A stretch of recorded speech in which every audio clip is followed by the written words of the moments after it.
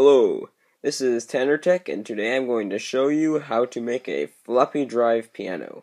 So, most of you have probably heard of musical floppy drives on YouTube, but I don't think I've ever seen someone actually make a piano to play those musical floppy drives. So, first starting with the piano keyboard. So, I 3D printed all the keys and the base. I designed the keys myself in a CAD program and I used my MakerGear 3D printer to print them. The base is made of popsicle sticks. If you look at the wiring of this piano keyboard, you can see that on the buttons, ground is connected to one pole through a 10 kiloohm resistor. 5 volts is connected to the other pole, and the other pole of the button that has the resistor attached to it. Before the resistor it is attached to the pin of the Arduino. The whole piano is connected through a ribbon cable to the Arduino. Here is the ground and positive, and here are the ribbon cables going from the 10 keys to 10 pins. So now, moving on to the floppy drive configuration. The floppy drive is powered by this computer PSU. I pulled both of these things out of an old computer. This is the circuit diagram of how I connected my floppy drive to the Arduino. So, originally I tried to connect the floppy drive pins directly to the Arduino, but that didn't seem to work for me. So I had to use two small NPN transistors. I used the 2N3094 transistor. So, what I did is I used a 10 kiloohm resistor to connect the transistor base to the pins of the Arduino. Then I put the emitters of both transistors to ground of the Arduino and the floppy drive. The collectors of the transistors I put to each pin on the floppy drive that needs connecting. So I have the step pin and the direction pin. After I was finished with this whole design, I added a push button in between the resistor and the Arduino that controls the direction of the floppy drive. I will explain this reason later in the video. Pin 12 and the ground of the floppy drive were connected because pin 12 turns on the floppy drive. This is the part of the schematic that shows the buttons on the piano and how they're connected to the Arduino. This is the breadboard that I use to hold the transistors and resistors. Here is how it's connected to the floppy drive. Here is the code that I used for my floppy drive piano. So, I have all the inputs. I have the select pin, the step pin, and all the piano pins. I called these key A, key B, and so on. I also have the button state ints inside here too. In void setup, I just have it setting all the key pins to input and the select and step pins to output. Before I go into the void loop, I'm going to look at each letter.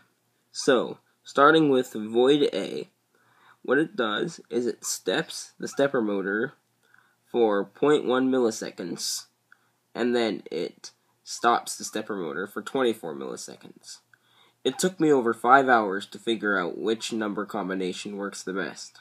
And it took me even longer to figure out which number combination corresponds to the letter that of the tone that it makes. So as you can see, I made a letter for each of the 10 keys on my piano. So when you see it and it says double C, that just means C one octave higher. And same with all the other double letters.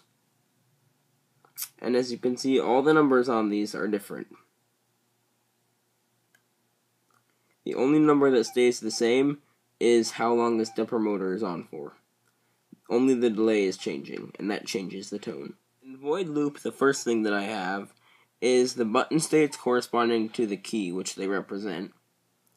Then I have the select pin on high, which I will explain even later in the video. Then I have a bunch of if-else statements nestled inside each other. I have the first if statement. If the A key is high, then it plays A. Else, in the else section, I have another if else statement. In the else section of that, I have another if else statement. And it's pretty much all the same for the next 10 if else statements until the last else statement, which is the step pin is low. And so it keeps cycling through all of these. Um, it makes the piano play just fine. All the code will be in the description for you to see and use for yourself. So, now to the actual testing of the piano. So, now for the test. When I press this button, it switches the direction of the floppy drive. This is what I was waiting till the end of the video to show. So, this is the same push button that's inserted in between the resistor and the pin for the direction control pin on the floppy drive. The reason I added a transistor there still instead of just completely bypassing the transistor is because the signal from the floppy drive would get lost. So I needed the transistor to amplify it again because the wire I use for my switch is long. On my floppy drive piano, I can play the keys and the floppy drive will move in one direction but as soon as it gets so far in one direction that it can't move anymore, I have to release the button, and it will move back down to where it's supposed to go. So, when you play this piano, you have to constantly be pressing the button on and off, and pressing the keys. So, this can be done by looking at the floppy disk the whole time, and using this key as sort of a foot pedal. So, now to hear some actual songs played on this little piano. First, I'm going to play the scale, and then I'm going to play the Star Wars Imperial March. I'm not too good at it. So, I'll start by inserting the floppy disk, just for effect. And here we go.